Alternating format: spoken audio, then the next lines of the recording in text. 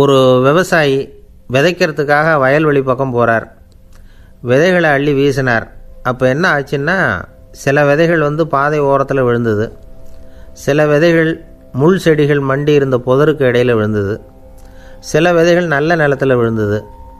பாதை ஓரத்தில் விழுந்த விதை என்ன ஆச்சுன்னா அதெல்லாம் பறவைகள் கண்ணில் போட்டுவிட்டுது உடனே வந்து உட்காந்து கொத்தி தின்னுட்டு போட்டுது. அதிகமாக மண் இல்லாத பாறை பகுதியில் விழுந்த விதையெல்லாம் லேசாக வேர் விட்டு முளைக்க ஆரம்பிச்சிது. அதுக்கப்புறம் வேர் கீழேயும் ஆழமாக போக முடியல. மேலேயும் சூரிய வெப்பம் அதிகம் தாங்க முடியல. எல்லாம் காஞ்சி கருகி போட்டுது புதர் பகுதியில் சில விதைகள் விழுந்தது இல்லையா? முள் செடிகள் காடாக மண்டி போயிருந்தது. அதனால் முளைச்சி வர்ற செடிக்கு நெருக்கடி அதிகமாக போட்டுது. சரியாக வளர முடியல. விளைச்சலும் சரியாக இல்லை. நல்ல நிலத்தில் விழுந்த விதைகள் மட்டும் நல்லா முளைச்சிது நல்லா வளர்ந்தது. விளைச்சலும் பிரமாதமாக இருந்தது. இந்த கதையை சொல்லிவிட்டு கேட்க செவியுள்ளோர் கேட்கட்டும் அப்படிங்கிறார் இயேசு பெருமான். ஆமாம் இயேசு கடலில் நின்ற படகு ஒன்றில் உட்காந்துருக்கிறார் கடற்கரையில் ஏராளமான மக்கள் உட்காந்துருக்கிறாங்க அந்த சமயத்தில் தான் இயேசு வந்து ஓமைகள் மூலமாக மக்களுக்கு பல உண்மைகளை சொல்லிகிட்டு இருக்கிறார். மக்கள் அந்த கதையை கேட்டுட்டு ஒன்றும் புரியாமல் முழிக்கிறாங்க. அதை கவனித்த இயேசு அந்த ஓமையை விளக்க ஆரம்பித்தார் இதில் அந்த விதைக்கிறவர் தான் இறைவன். அவருடைய வார்த்தைகளை விதைக்கிறார். அந்த வார்த்தைகளை கேட்கிற மக்கள் அந்த விழுந்த விதைகள் மாதிரி நாலு வகையானவர்கள்.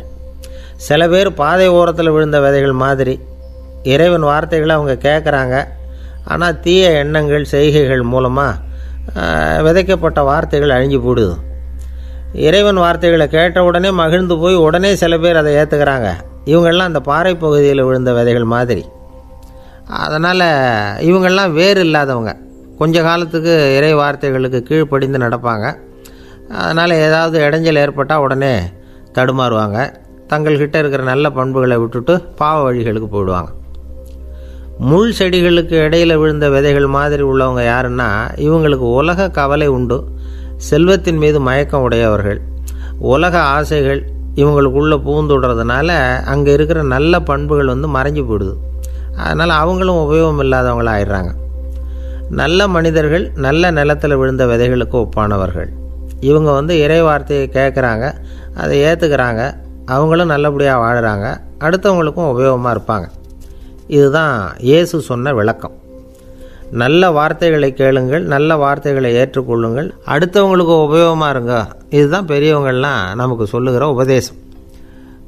ஒரு அப்பா தன்னுடைய மகனுக்கு உபதேசம் பண்ணார். இதை பாருப்பா நல்ல வார்த்தைகளை கேட்கணும். எப்போதுமே மகன் வந்து அப்பா பேச்சை கேட்குறது நல்லது அப்படின்னாராம். நீ ஏதாவது ஒரு தப்பு பண்ணால் என் தலையில் ஒரு முடி நரைச்சி வெள்ளையாக போடும்பா. நீ செய்கிற ஒவ்வொரு தப்புக்கும் என் தலையில் ஒவ்வொரு முடி வெள்ளையாயிடும் அப்படின்னாராம்.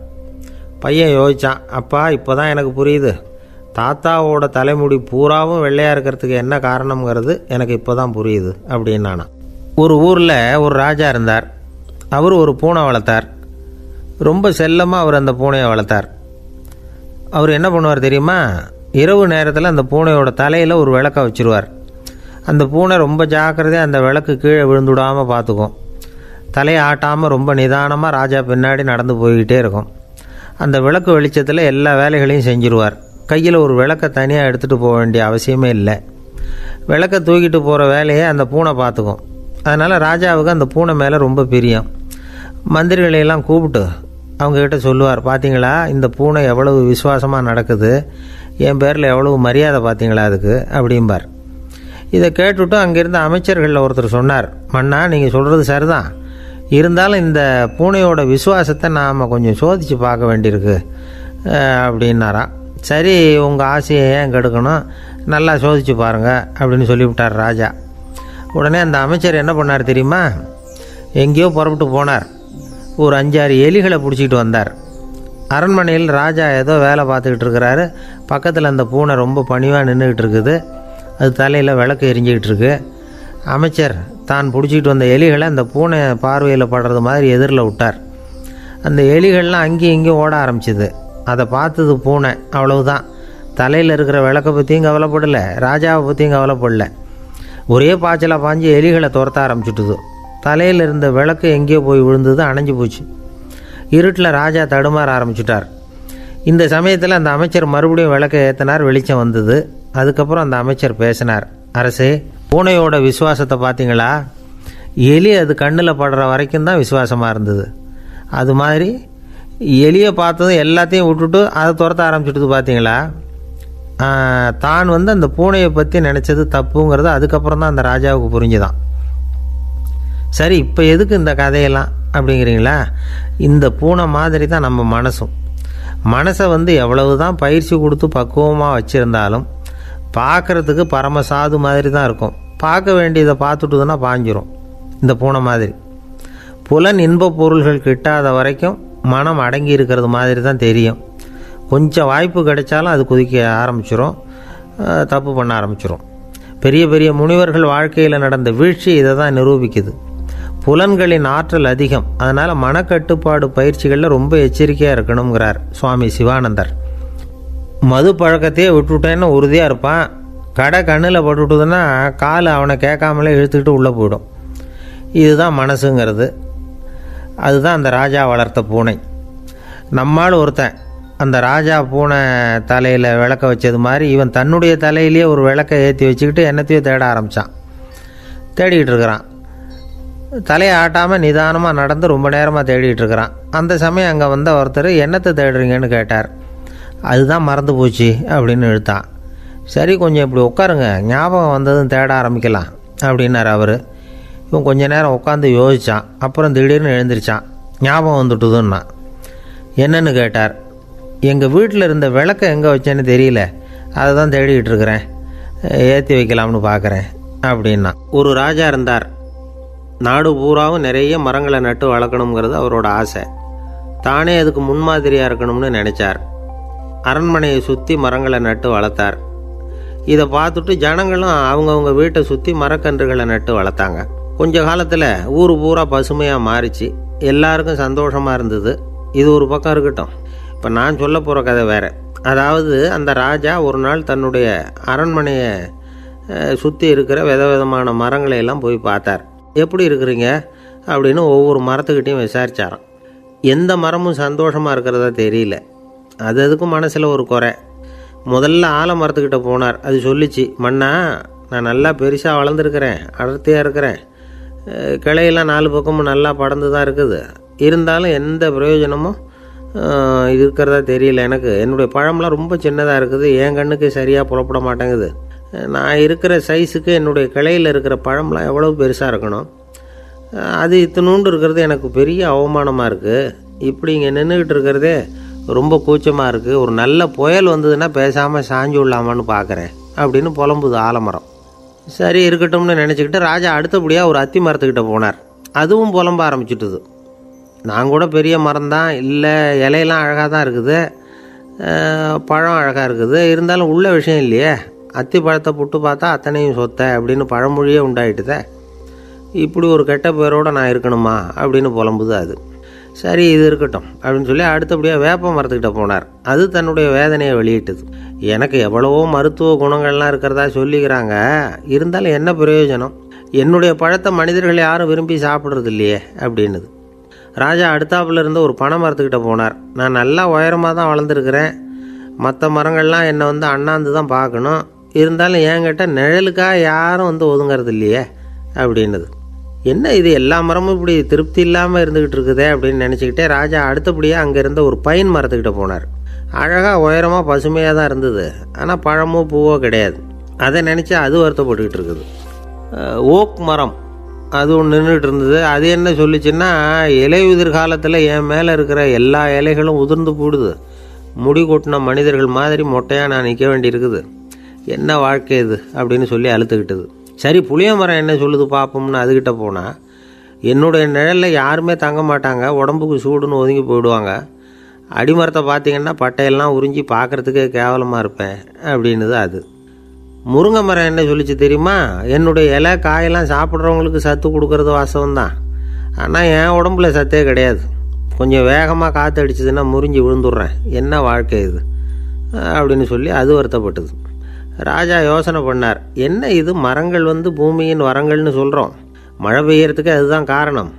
பூமி செழிப்பாக இருக்கிறதுக்கும் அதுதான் காரணம். வீடு கட்டுறதுக்கு மரம் நாற்காலி செய்ய உபயோகப்படுத்துறதுக்கும் அதுதான் உபயோகப்படுது. மனுஷனுக்கு வேண்டிய ஆகாரங்களையும் கொடுக்குது. இப்படிலாம் இருந்தும் எல்லா மரமும் நிம்மதி இல்லாமல் இருந்துக்கிட்டு இருக்குதே அப்படின்னு நினச்சார். அப்போது அங்கேருந்து ஒரு மகிழ மரம் அவர் கண்ணில் பட்டுது. அந்த மரம் மட்டும் கொஞ்சம் நிம்மதியாக மகிழ்ச்சியாக இருக்கிறது மாதிரி தெரிஞ்சுது. உடனே ராஜா அதுக்கிட்ட போனார். உனக்கு மனசில் எதுவும் குறை இல்லையான்னு கேட்டார். இல்லை நான் சந்தோஷமாக தான் இருக்கேன்னு அந்த மகிழ மரம். அப்படியான்னு ஆச்சரியமாக கேட்டார் ராஜா. ஆமாம் அண்ணா இந்த இடத்துல நீங்கள் ஒரு முருங்கை மரத்தையோ வேப்ப மரத்தையோ கூட நட்டிருக்கலாம். ஆனால் இந்த இடத்துல நடுறதுக்கு என்ன தேர்ந்தெடுத்துருக்குறீங்க. அதுவே எனக்கு பெருமை. அதுவே எனக்கு திருப்தி அப்படின்னு தான் மகிழ மரம். மகிழ மரம் சாதாரணமாக தான் இருக்கும். இளம் மஞ்சள் நிறத்தில் பூக்கள் அது காய்ந்தும் மனம் வீசும். மகிழ மரம் மாதிரி மன திருப்தியோடு வாழறதுக்கு நாம் கற்றுக்கணுமா நாம் இந்த உலகத்தில் ஒரு நாயாவோ நரியாவோ கூட பிறந்திருக்கலாம். மனுஷனாக பிறந்திருக்கிறோம். அதுவே பெருமை தானே? இந்த நிறைவு தான் மகிழ்ச்சியின் ரகசியம். ஒரு பையன் அப்பா கிட்ட போய் அப்பா நீங்கள் இந்த உலகத்தில் ஒரு மனுஷனாக பிறந்தது என்னோட அதிர்ஷ்டம் நானா? ஏன்டா அப்படி சொல்கிறேன்னு இருக்கார் அப்பா. நீங்கள் ஒரு கரடியாக பிறந்திருந்தா இந்நேரம் நானும் ஒரு கரடி குட்டியாக தானே இருந்திருப்பேன்? அப்படின்னு நானா பையன். இந்த உலகத்தில் நாம் நல்லபடியாக இருக்கணும்னா அதுக்கு முக்கியமாக தேவைப்படுறது ரெண்டு. ஒன்று செல்வம் இன்னொன்று அறிவு. சரி இது ரெண்டில் சிறந்தது எது? அப்படின்னு ஒரு கேள்வி கேட்டால் என்ன பதில் சொல்கிறது இதே கேள்வியை ஹஸ்ரத் அலி அவர்கள்கிட்ட கேட்டாங்களாம். அவர் ஒரு பெரிய அறிஞர். கேள்வி கேட்டவங்களும் சாதாரண ஆட்கள் இல்லை. இவங்களும் அறிஞர்கள்.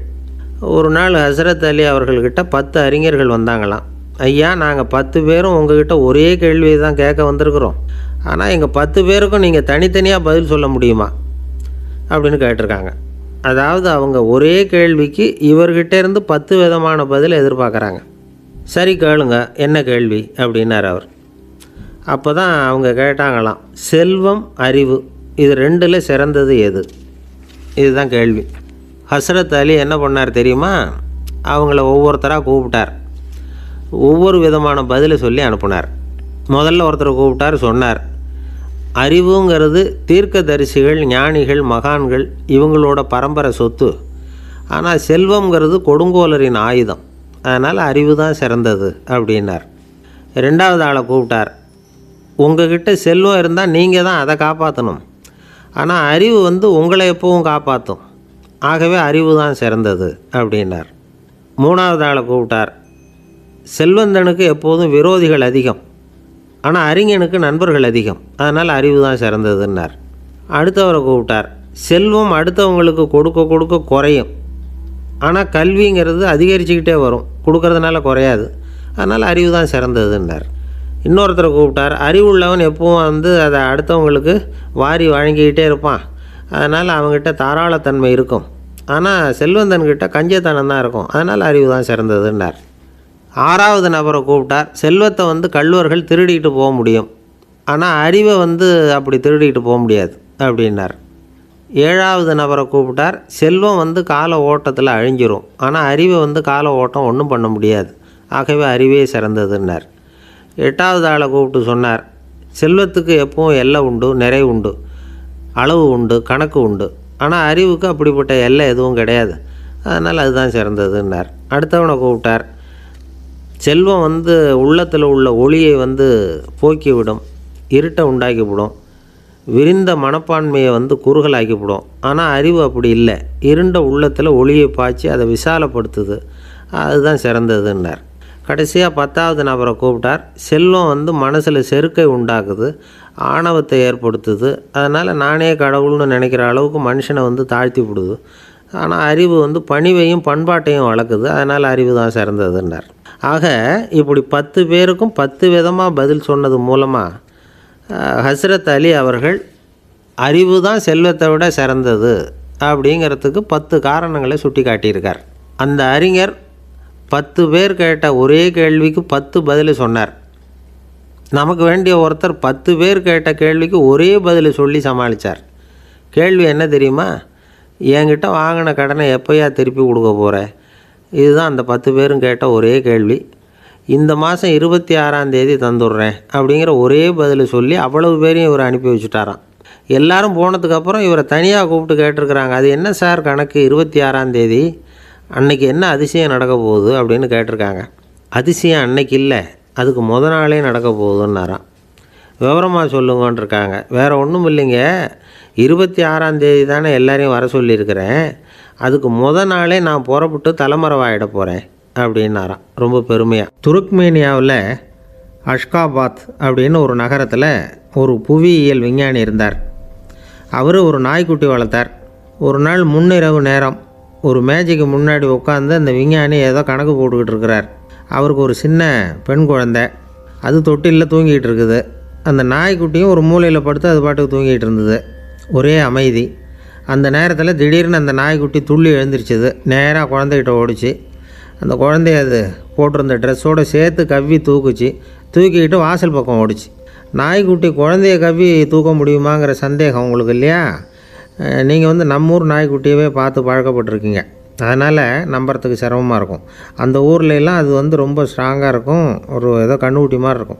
விஞ்ஞானி அதை பார்த்துட்டார். உடனே அந்த நாய்க்கு வந்து வெறி பிடிச்சிட்டுதுன்னு முடிவு பண்ணிவிட்டு தன்னோட கை துப்பாக்கியை எடுத்தார். எடுத்துக்கிட்டு ஓடி வந்தார். அவர் வெளியில் வந்து நாய்க்குட்டி எங்கே? அப்படின்னு பார்த்து தேடுறார். அந்த நேரத்தில் அந்த வீடு வந்து இடிஞ்சு விழுது காரணம் பூமி அதிர்ச்சி.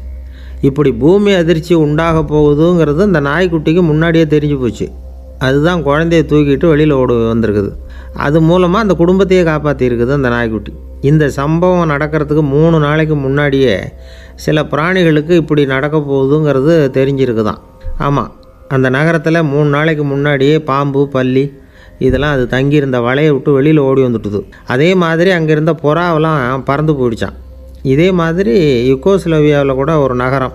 அங்கே ஒரு நாள் ராத்திரி ஒரு மிருக காட்சி சாலையில் திடீர்னு ஒரு பெரிய கலவரம் கூச்சல் குழப்பம்.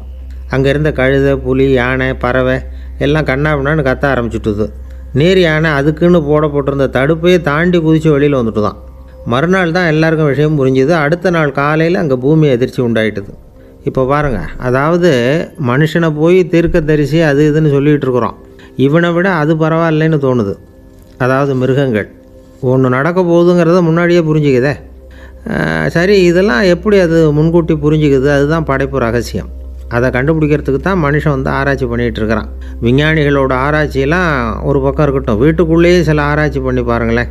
இப்போ சில யோசனை சொல்லி அதை சோதனை பண்ணி பாருங்க அப்படின்னு ஒருத்தர் சொன்னாராம். அதாவது இப்போ மழை வருமா வராதா அப்படின்னு தெரிஞ்சுக்கணுமா? உடனே ஒரு பூனைக்குட்டி பின்னாடியே மெதுவாக போய் அது என்ன செய்யுதுன்னு கவனித்து பார்க்கணும். பூனைக்குட்டி தன்னோட பாதத்தினால சுகத்தில் வந்து அப்படி கீறிக்கிட்டு இருக்கும். அப்படி கீறினா கண்டிப்பாக மழை வரும். சில சமயம் பூனைக்குட்டி அப்படியே மல்லாந்து படுத்துக்கிட்டு பாதத்தை உயர தூக்கும். அப்படியும் இப்படியும் புரளும் இப்படி செஞ்சதுன்னா அன்னைக்கும் மழை இருக்காது. அதனால் முன்னாடி இருந்தது மழை வர்றதுக்கு அறிகுறி இது மழை இல்லைங்கிறதுக்கு அறிகுறி. பறவைகள் பிராணிகள் இதுகளோட நடவடிக்கைகளை பார்த்துட்டு அதையெல்லாம் அடிப்படையாக வச்சு தான் காலநிலையை கண்டுபிடிக்கிற கருவிகளை கண்டுபிடிச்சிருக்கிறாங்க. வாத்து இருக்குல்ல சில சமயம் தன்னோட அழகை தன்னோட இறகுகளில் அப்படியே புதைச்சிக்கும். அப்படி செஞ்சால் குளிர்காலம் வரப்போகுதுன்னு அர்த்தம். பருவநிலை குளிராக மாறப்போகுதுங்கிறதுக்கு இதுதான் அறிகுறி. சிட்டுக்குருவி இருக்குதுல்ல அதெல்லாம் புழுதியில் உழுந்து புரளும் சிறகுகளை வந்து படபடன்னு அடிச்சுக்கும்.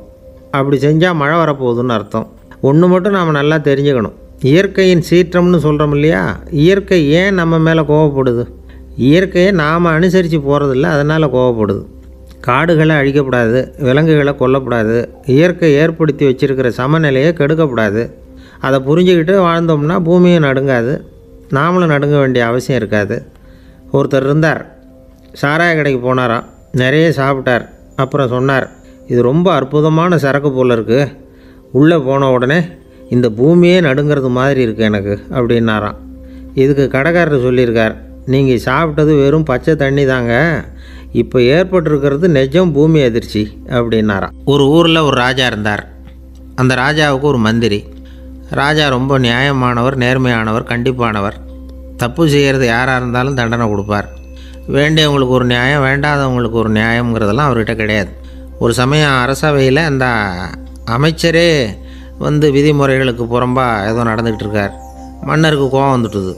உடனே அந்த அமைச்சரை கிட்டத்தில் கூப்பிட்டு அவர் கன்னத்தில் ஓங்கி ஒரு அறை கொடுத்துட்டாராம். உடனே அந்த அமைச்சர் என்ன பண்ணார் தெரியுமா? நேராக போனார். அங்கே நின்றுக்கிட்டு இருந்த இன்னொருத்தர் கன்னத்தில் ஓங்கி அரைஞ்சார் அறை வாங்கினவர் திகைச்சு போயிட்டார். இவர் ஏன் நம்மளை வந்து அரைகிறார் அப்படின்னு யோசனை பண்ணார். மன்னரும் திகைச்சு போயிட்டார்.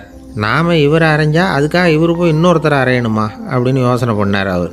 இவருக்கு என்ன பைத்தியமானு கூட நினைக்க ஆரம்பிச்சிட்டார். ஆனால் என்ன ஆச்சுன்னா அப்புறம் அமைச்சர் அவர் கவனிச்சிக்கிட்டு இருந்தாரா? அவர் இன்னொருத்தர் அரைஞ்சார் இல்லையா? அந்த அறை வாங்கின ஆசாமியை பார்த்து கத்திக்கிட்டு இருந்தார். யார் அமைச்சர்?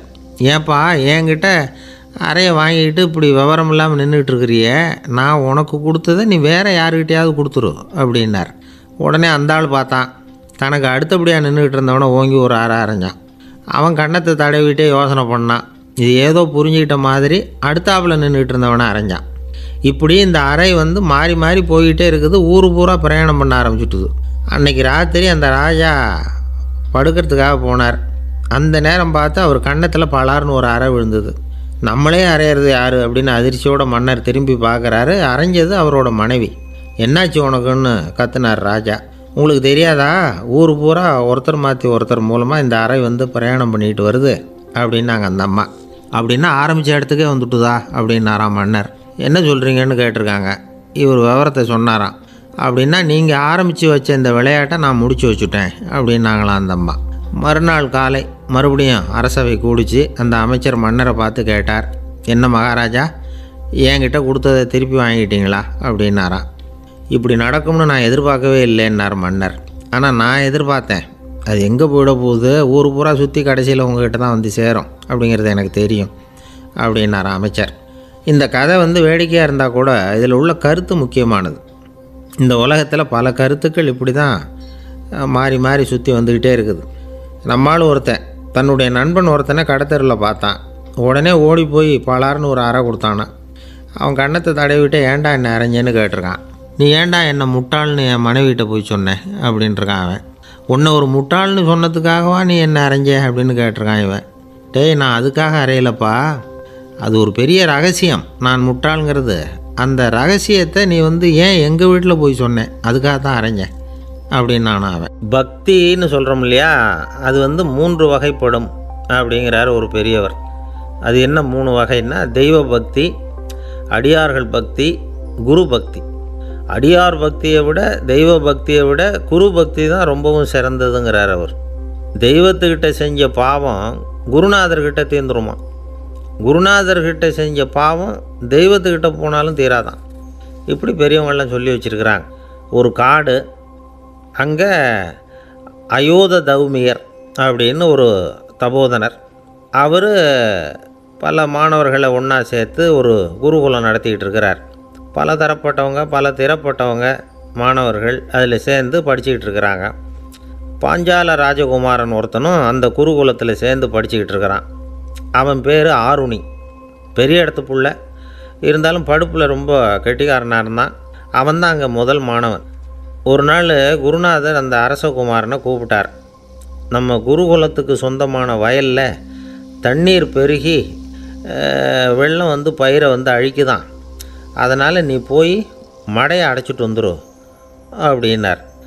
அந்த அரசகுமாரன் உடனே புறப்பட்டான். குருநாதர் சொல்லிட்டார்ல உடனே புறப்பட்டான். நான் பெரிய இடத்து பிள்ளையாச்சே ராஜகுமாரனாச்சே ரொம்ப செல்வாக்கோட வளர்ந்தவனாச்சே நான் போய் வயலில் இறங்கி வேலை செய்கிறதா? அப்படின்னுலாம் அவன் நினைக்கல. குருநாதர் கட்டளையை நிறைவேற்ற வேண்டியது நம்ம கடமை அப்படின்னு நினச்சான். உடனே ஒரு மண்வெட்டியை தோக்கி தோளில் வச்சுக்கிட்டு புறப்பட்டு போயிட்டான். வயலுக்கு போனான் பார்த்தான் தண்ணி கரையை உடச்சிக்கிட்டு வயலுக்குள்ளே ஏகமாக பாஞ்சிக்கிட்டு இருக்குது. இவன் மண்வெட்டியால் களிமண்ணை புல்லோடு சேர்த்து புல் பத்த மாதிரி வெட்டி வெட்டி போட்டான். இருந்தாலும் மடையை அடைக்க முடியல. தண்ணி அதை மீறி வந்துக்கிட்டே இருக்குது. தண்ணி வந்து வேகமாக வயலுக்குள்ளே போய்கிட்டே இருக்குது. போடுற பத்தையெல்லாம் கரைஞ்சி கரைஞ்சி போயிட்டுருக்கு. இருந்தாலும் இவன் தன்னுடைய முயற்சியை கைவிடலை. வெட்டி வெட்டி போட்டுக்கிட்டே இருக்கிறான். காலையில் அங்கே போனவன் சாயந்தரம் வரைக்கும் இப்படி செஞ்சுக்கிட்டு இருக்கிறான். உடம்பும் மனசும் ரொம்பவும் சோர்ந்து போச்சு. இருந்தாலும் குருநாதர் இட்ட கட்டளையை நிறைவேற்றாமல் இருக்கிறோமேங்கிற ஒரு குறை அவனுக்கு இருக்குது குரு கட்டளையை நிறைவேற்றாத நான் வந்து இன்னமும் இருக்கணுமா அப்படின்னு யோசனை பண்ண ஆரம்பிச்சிட்டான். என்ன செய்யலாம்னு பார்த்தான். நம்ம குருநாதர் இட்ட பணிக்காக இந்த உடம்பையே தியாகம் பண்ணலாம் அப்படின்னு முடிவு பண்ணான். தண்ணி பாயுதில் அதுக்கு குறுக்க விழுந்து அப்படியே மடையை அடைச்சிக்கிட்டு அப்படியே படுத்துட்டான். இது மற்றவங்களுக்கு தெரியாது. அன்னைக்கு ராத்திரி ஒரு விளக்கு முன்னாடி உட்காந்து குருநாதர் பிள்ளைங்களுக்கு பாடம் சொல்லி கொடுத்துக்கிட்டு இருக்கிறார். முத வரிசையில் இருக்கக்கூடிய ராஜகுமாரனை காணலை. நம்ம ஆருணி எங்கே போனா அப்படின்னு சொல்லி மற்ற மாணவர்களை விசாரித்தார் இப்போ அவங்க சொன்னாங்க சுவாமி அவன் காலையில் வயலுக்கு வந்து மடையை அடைக்கிறதுக்காக போனான் நீங்கள் தான் போக சொன்னீங்க. இன்னும் திரும்பி வரல அப்படின்னு அவர் பையன். குருநாதர் உடனே ஒரு தீவெட்டி எடுத்துக்கிட்டு மாணவர்களை அழைச்சிக்கிட்டு வயலுக்கு போனார். அங்கே போய் பார்த்தா ஆளை காணும். ஆருணி அருணின்னு சொல்லி சத்தம் போட்டு கூப்பிட்டு பார்க்குறார் நான் இங்கே இருக்கேன் குருநாதா அப்படின்னு காலுக்கு அடியிலேருந்து ஒரு சத்தம் வருது. குனிஞ்சு பார்த்தா அவன் மழையில் படுத்துருக்குறான். என்னப்பா இதுன்னார். காலையிலேருந்து இந்த மழையை அடைச்சி பார்த்தேன் சுவாமி முடியல. அதனால் இப்படி குறுக்க படுத்துட்டேன். என்னை தாண்டறதுக்கு பயந்து போய் தண்ணியே தேங்கி நின்றுட்டுது அப்படின்னா. அவனுடைய குரு பக்தியையும் அவனை தாண்டறதுக்கு அஞ்சு நிற்கிற தண்ணி தேக்கத்தையும் பார்த்துட்டு எல்லாரும் ரொம்ப ஆச்சரியப்பட்டு போயிட்டாங்களாம். ஆறுனே எழுந்திரிச்சு வா அப்படின்னு கூப்பிட்டாரான் குருநாதர். அவன் தண்ணீரை பொழந்துக்கிட்டு எழுந்திரிச்சு வந்தானான் அதனால் அவனுக்கு வந்து உத்தாலகன் அப்படின்னு ஒரு பேர். உத்தாலகன்னா தண்ணீரை பிளந்தவன் அர்த்தம். அந்த உத்தாலகன் மாதிரி இந்த காலத்து மாணவர்களுக்கும் குரு பக்தி வேணும் அப்படின்னு சொன்னோம். ஒரு பள்ளிக்கூடத்தில். உடனே நிறைய மாணவர்கள் எழுந்திரிச்சு நின்னாங்க. சார் நீங்கள் எங்களை வந்து இன்னமும் சரியாக புரிஞ்சுக்கலன்னு நினைக்கிறோம். அன்னைக்காவது ஒருத்தன் அப்படி இருந்தான். இன்றைக்கி ஏகப்பட்ட உத்தாலகர்கள் இருக்கிறோம். எங்கள் வாத்தியார் கட்டளை இட்டால் இப்போவே அது மாதிரி வயலுக்கு போய் மடையில் குறுக்கப்படுத்துக்கிறதுக்கு இந்த வகுப்பில் உள்ள அத்தனை பேரும் தயாராக இருக்கிறோம் அப்படின்னாங்க. அப்படியா? அப்படின்னு சொல்லி கேட்டோம் ரொம்ப சந்தோஷமாக ஒருத்தன் ரொம்ப அடக்கமாக எழுந்திரிச்சான். அப்புறம் சொன்னான் ஆமாம் சார் வகுப்பில் வந்து இவர் நடத்துகிற பாடத்தை கேட்டுக்கிட்டு இருக்கிறத விட பேசாமல் போய் மடையில் படுத்துடுறது ஒன்றும் கஷ்டமான காரியமாக இருக்காது. அதனால தான் எல்லாரும் அங்கே போகிறேன்னு சொல்கிறோம் அப்படிங்கிறான். ஒரு இலக்கிய கூட்டம் ஏற்பாடு பண்ணியிருக்கிறோம். நீங்கள் அவசியம் வந்து அதில் பேசணும் அப்படின்னு கேட்டுக்கிட்டார் ஒருத்தர். வேணாங்க நாலு பேருக்கு முன்னாடி வந்து நிற்கிறதுனா எனக்கு ரொம்ப கூச்சமாக இருக்கும் அப்படின்னாரு இவர். ஏன் சார்? இன்னமும் குழந்த மாதிரி கூச்சப்படுறீங்களே அப்படின்னார் அவர். அவர் ஒரு மாதிரியாக சமாளித்து அனுப்பி வச்சுட்டு அதுக்கப்புறம் அதை பற்றி இவர் யோசித்து பார்த்துருக்கார். சில நிபுணர்கள் எழுதியிருக்கிறத படித்தும் பார்த்துருக்கிறார். மனோதத்துவ நிபுணர்கள் என்ன சொல்கிறாங்க தெரியுமா? பத்துலேருந்து இருபது சதவீதம் குழந்தைகள் பிறக்கிறப்பவே கூச்ச சுபாவம் கொண்டதாக தான் இருக்குதான். ஒரு தாத்தா தன்னோட பேர பிள்ளைய ஆசையாக கூப்பிடுறார். விளையாட்டு காட்ட. அதை அழுதுகிட்டு ஓடி போகுது. ஒரு அம்மா தன்னோட பிள்ளைய பள்ளிக்கூடத்தில் சேர்க்கறதுக்காக கூப்பிட்டுக்கிட்டு போகிறாங்க அந்த புள்ள அம்மாவோட முந்தானையில் ஒளிஞ்சிக்கிட்டு வெளில வரமாட்டேங்குது. இவங்களையெல்லாம் எப்படி சமாளிக்கிறது? குழந்தைகளோட கூச்ச சுபாவத்தை போக்குறது எப்படி? இதுக்கு நிபுணர்கள் சில யோசனைகளை சொல்லியிருக்கிறாங்க. மற்றவங்களுக்கு முன்னாடி என் பையனுக்கு கூச்சம் ரொம்ப அதிகம் சார். மற்றவங்க பார்த்தா ரொம்ப வெக்கப்படுறான். இப்படி சொல்கிற அப்பாக்கள் உண்டு.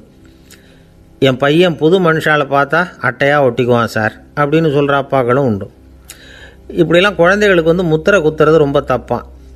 புதுசாக யாராவது வீட்டுக்கு வந்தால் குழந்தை தானாக தன்னோட கூச்சத்தையும் பயத்தையும் போக்கிக்கிட்டு சகஜமாக மாறி வர்றதுக்கு வாய்ப்பு கொடுக்கணுமா?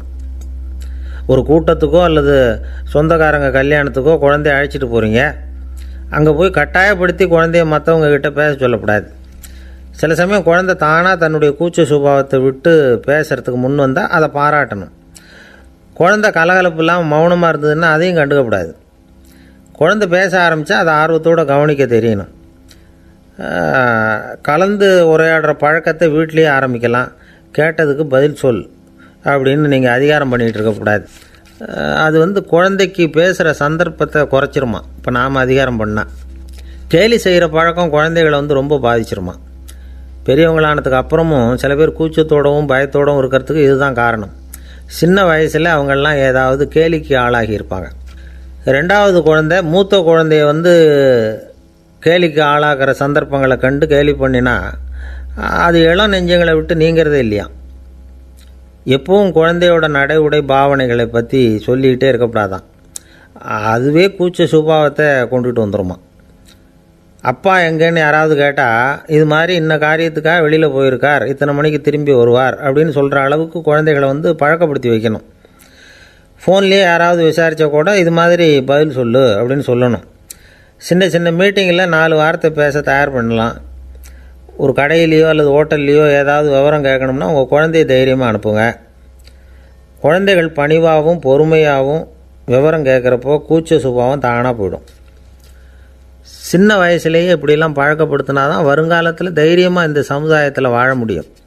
இல்லைன்னா அறுபது வயசுலேயும் அடுப்பங்கரையை விட்டு வெளில வர்றதுக்கு கூச்சப்பட்டுக்கிட்டு தான் இருக்க வேண்டியிருக்கும். இந்த காலத்து பிள்ளைங்க எவ்வளவோ பரவாயில்ல. எதுக்கும் தயங்குறதில்ல கூச்சப்படுறதில்ல. ஒரு அம்மா அடுப்பங்கரையிலேருந்து சத்தம் போட்டாங்க. டேய் ராமு தயவு பண்ணி அந்த டிவியை நிறுத்துறா. அந்த பெண்ணோட குரல் மகா மோசம். அடுப்பங்கரையில் இருக்கிற என்னாலேயே அதை சகிச்சிக்க முடியல அப்படின்னாங்களாம். உடனே பையன் கொஞ்சம் கூட தயங்காமல் பதில் சொல்கிறான் அம்மா இந்த குரல் டிவியிலேருந்து வரல. எதிர்த்த விட்டு மாமி தான் இங்கே வந்திருக்கிறாங்க. அவங்க தான் இப்போ என்னோட பேசிக்கிட்டு இருக்கிறாங்க அப்படின்னு நானும் ஐயா உங்கள் பேரை தொடர்ந்து தினம் கேட்டுக்கிட்டு இருக்கிறேன் அப்படின்னார் ஒருத்தர். தொடர்ந்து கேட்குறீங்களே உங்களுக்கு காது வலிக்கலையா? அப்படின்னு கேட்டோம். பேசுகிற உங்களுக்கே வாய் வலிக்கலை அப்படிங்கிறப்போ கேட்குற எங்களுக்கு எப்படி காது வலிக்கும்? அப்படின்னார். நம்ம உடம்புல ஒரு அதிசயம் என்ன தெரியுமா? ரொம்ப நேரம் நாம் நடக்கிறோம்னு வச்சுக்கோங்க கால் வலிக்கும். ரொம்ப நேரம் வேலை செஞ்சால் கை வலிக்கும் உடம்பு வலிக்கும். ரொம்ப நேரம் பார்த்துக்கிட்டே இருந்தால் கண் வலிக்கும். ரொம்ப நேரம் பேசிக்கிட்டே இருந்தால் வாய் கூட வலிக்கும். ஆனால் ரொம்ப நேரம் கேட்டுக்கிட்டே இருக்கிறதுனால காது வலிக்கிறது இல்லை அதனால் கேட்குறதுக்கு முக்கியத்துவம் கொடுத்தாங்க நம்ம பெரியவங்க. திருவள்ளுவர் வந்து தேவையில்லாமல் வார்த்தைகளை உபயோகப்படுத்த மாட்டார். ஒரு திருக்குறள்னு எடுத்துக்கிட்டாவே அதில் மொத்தம் ஏழு வார்த்தைகள் அவ்வளவுதான். அப்படி ஏழு வார்த்தைகள் மட்டுமே உள்ள ஒரு திருக்குறளில் வள்ளுவர் ஒரே வார்த்தையை அஞ்சு தடவை உபயோகப்படுத்தியிருக்கிறார். திரும்ப திரும்ப பயன்படுத்தியிருக்கிறார். அப்படின்னா அதை எந்த அளவுக்கு வலியுறுத்தி சொல்கிறார் அப்படிங்கிறத நாம் புரிஞ்சுக்கணும். அது என்ன குறள்? செல்வத்துள் செல்வம் செவிச்செல்வம் அச்செல்வம் செல்வத்துள் எல்லாம் தலை. செவிச்செல்வம்ங்கிறது அவ்வளவு முக்கியமானது. கற்றலின் கேட்டல் நன்று. அதிகம் கேட்கணுங்கிறதுக்காக தான் எவ்வளவு கேட்டாலும் காது வலிக்கிறதில்ல. குறைச்சலாக பேசணும் அதிகமாக கேட்கணும். இன்னொரு விஷயம் கவனிங்க. நம்ம உடம்பில் கண்ணுக்கு வந்து மூடி இருக்குது. எதையாவது நாம் பார்க்க விரும்பலைன்னா உடனே கண்ணை மூடிக்கலாம். நம்ம வாய்க்கு மூடி இருக்குது பேச விருப்பம் இல்லையா வாயை மூடிக்கலாம். மூக்குக்கு கூட மூடிக்கிற வசதி இருக்குது. எதையாவது முகர விருப்பம் இல்லையா மூச்சை அடக்கிக்கலாம். ஆனால் பாருங்கள் காதுக்கு வந்து மூடி கிடையாது. அதை கையால் தான் மூட முடியும். யார் என்ன சொன்னாலும் அது நல்லதோ கெட்டதோ காதில் விழுந்துக்கிட்டு தான் இருக்கும். அறிவு தான் நல்ல விஷயங்களை எடுத்துக்கிட்டு கெட்ட விஷயங்களை விட்டுடணும் நல்ல கருத்துக்கள் நம்ம காதில் நிறைய விழுந்துக்கிட்டே இருக்கணும். அதை கேட்டு நாம் நல்லபடியாக வாழணுங்கிறது தான் படைப்பின் விருப்பம். ஆன்மீகவாதிகள் கூட ஒன்று சொல்லுவாங்க. அதாவது ஆன்மீக பாதையில் நீங்கள் முன்னேறணும்னா முதல்ல சிரவணம் செய்யணும்பாங்க. அதாவது பெரியவங்க சொல்கிற நல்ல கருத்துக்களை கேட்கணும் அப்படின்னு அதுக்கு அர்த்தம். அதனால் யார் நல்ல கருத்துக்களை சொன்னாலும் அதை காது கொடுத்து கேளுங்க. இவ்வளவு கருத்துக்களையும் நம்ம நேயர் ஒருத்தர்கிட்ட சொல்லிகிட்டு இருந்தோம். அவரும் சரி சரின்னு தலையாடிக்கிட்டே இருந்தார். அப்புறம் சொன்னார் நீங்கள் சொல்கிறது சரிதான் சார். காதுக்கு மூடி இல்லைங்கிறது ரொம்ப சரி. அதனால தான் உங்கள் தகவல் கூட நாங்கள் விரும்புகிறோமோ இல்லையோ தினம் காதில் விழுந்துக்கிட்டு இருக்குது அப்படின்னார். எங்களுக்கு ரொம்ப பெருமையாக இருந்தது. அப்படியா? அப்படின்னோம். ஆனாலும் என்ன மாதிரி சில பேர் நீங்கள் தகவல் சொல்கிற சமயத்தில் காதில் மூடி இல்லையேன்னு சொல்லி கவலைப்படுறதில்ல சார் அப்படின்னார். ஏன்னு கேட்டோம். காதை மூடுறதுக்கு தானே வசதி இல்லை. ரேடியோ மூடுறதுக்கு வசதி இருக்குதுல்ல. அதனால் டக்குன்னு அதை மூடி வச்சுருவோம் அப்படின்னார்.